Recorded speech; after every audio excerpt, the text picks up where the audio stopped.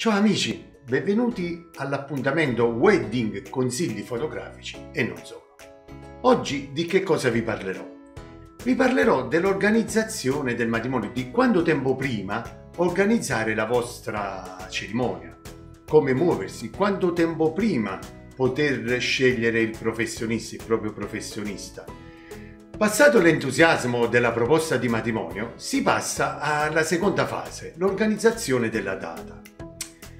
Va organizzato chiaramente un matrimonio, non è una cosa semplice, quindi vanno visto tutti i piccoli dettagli.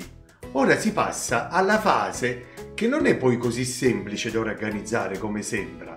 Sono tantissime le cose da fare, da mettere insieme per organizzare una festa meravigliosa. Soprattutto trovare i veri professionisti che eh, seguiranno il vostro, il vostro matrimonio.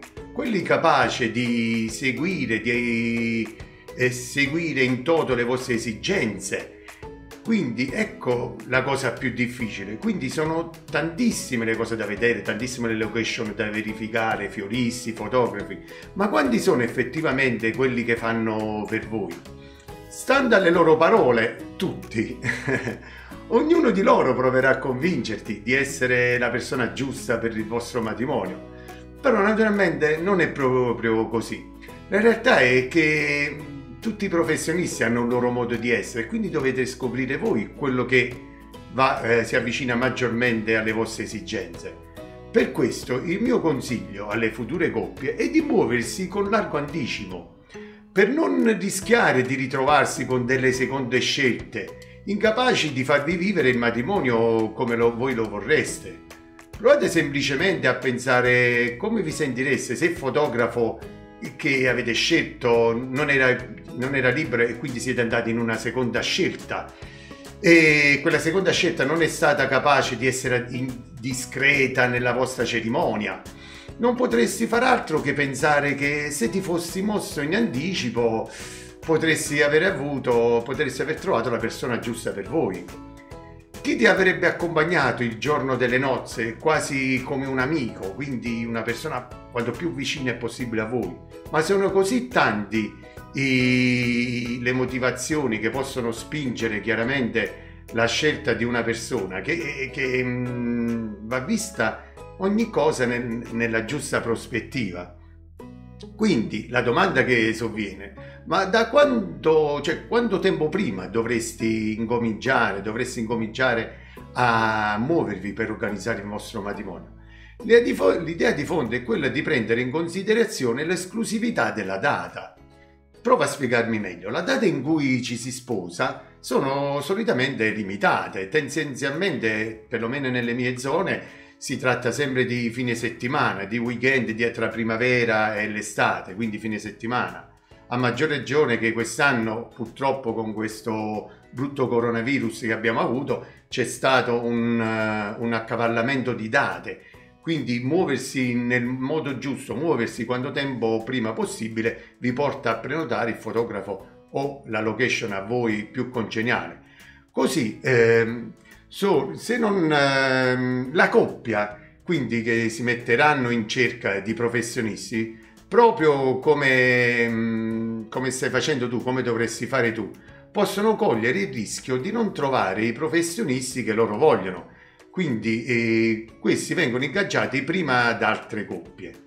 Quindi, inteso da non ritrovarsi a dover condividere, visto che non, certamente non vorreste ritrovarvi a condividere la vostra villa, il vostro gelidino con, con altri sposi, ci sono fornitori di servizi che possono accogliere solo poche cerimonie in una, in una giornata.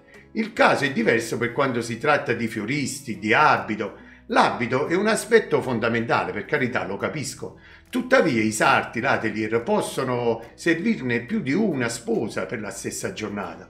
Naturalmente vi ho lasciato loro il tempo va lasciato loro ovviamente il tempo di preparare l'abito su misura, ma l'urgenza con cui devi ingaggiarli non è così stringente come può essere quella di un fotografo. Se ti trovi nella situazione di dover cominciare a organizzare un matrimonio, dai la priorità a coloro che puoi ingaggiare solo se arriva prima di tutti gli altri. Quindi nel caso specifico, quindi della cerimonia, bisogna eh, considerare il ricevimento, quindi la location, i musicisti, la wedding planner, il fotografo, sono tutte figure che vanno prenotate quanto prima possibile perché ovviamente la loro esclusività è limitata per quel giorno. Ma quando effettivamente tempo prima dovresti ingaggiarli? Beh, prima lo fai ovviamente, meglio è. Se pensi che in ogni caso dovrai prenotare i loro servizi, perché attendere? Quindi meglio farlo quanto prima possibile. Io per esempio ho già più uh, della media dei matrimoni a disposizione per il 2021, quindi ho parecchie date prenotate, sono pochissime quelle libere.